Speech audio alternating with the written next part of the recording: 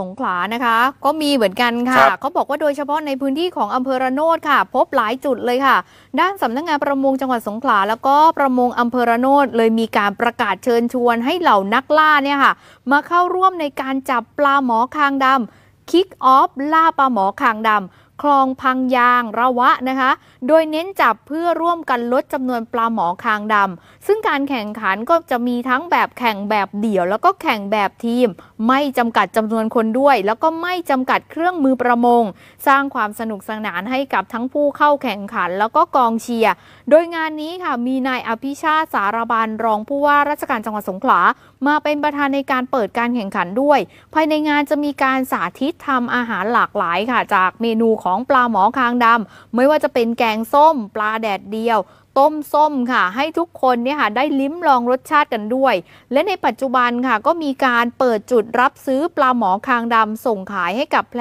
ปลา